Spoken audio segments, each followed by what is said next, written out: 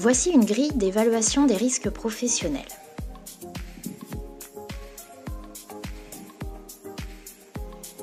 Commencez par renseigner la date de mise à jour.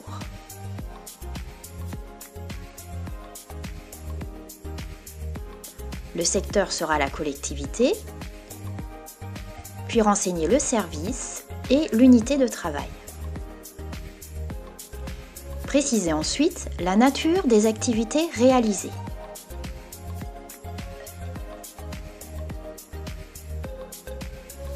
Dans la colonne Risque,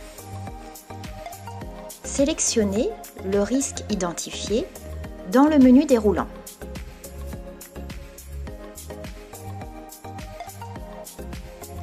Détaillez la situation de travail dangereuse correspondante.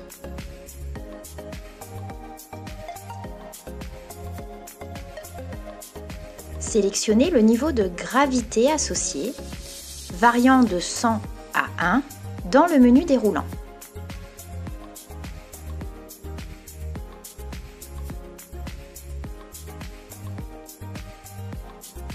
Sélectionnez le niveau de fréquence d'exposition, variant également de 100 à 1 dans le menu déroulant.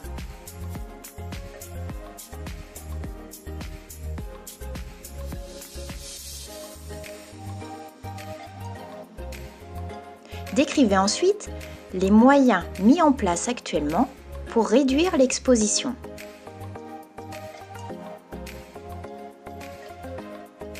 Sélectionnez ensuite le niveau de maîtrise correspondant, variant de 1 à 0,25 dans le menu déroulant.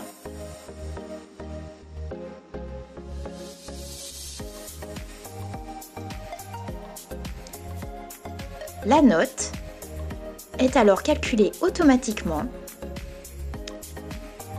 par le produit gravité fois fréquence d'exposition fois moyen de maîtrise en place.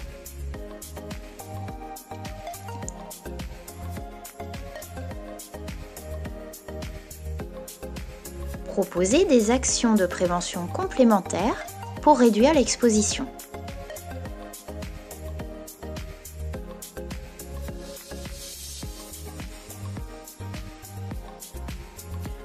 Une fois tous les risques évalués, opérez un classement par ordre de priorité en cliquant sur le bouton Classement.